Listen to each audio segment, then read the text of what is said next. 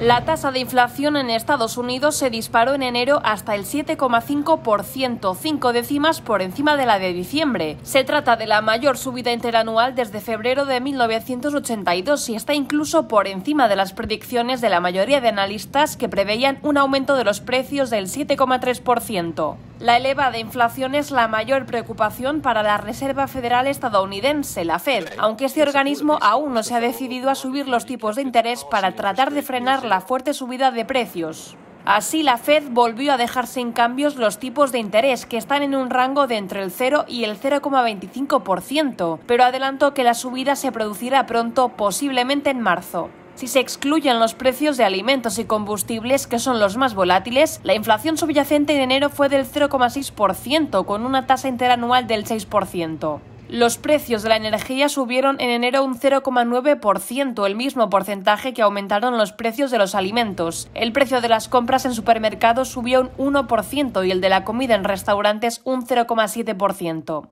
En la industria automovilística, los precios de los vehículos de nueva fabricación se mantuvieron constantes con respecto a diciembre, pero los de segunda mano subieron un 1,5%. Además, el precio de la vivienda aumentó de un mes para otro en un 0,3%.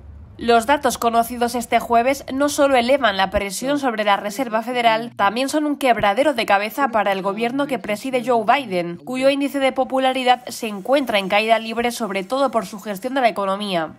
Biden insistió en ser optimista pese a la escalada de precios y auguró que la inflación se moderará de forma sustancial a finales de este año.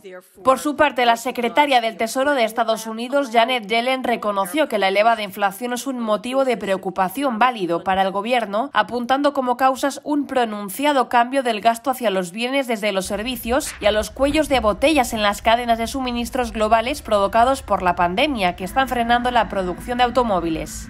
Precisamente los principales fabricantes de automóviles de Estados Unidos han reducido su producción por los problemas de suministro que está causando el bloqueo del principal paso fronterizo entre Estados Unidos y Canadá, el puente ambasador por parte de una protesta antivacunas.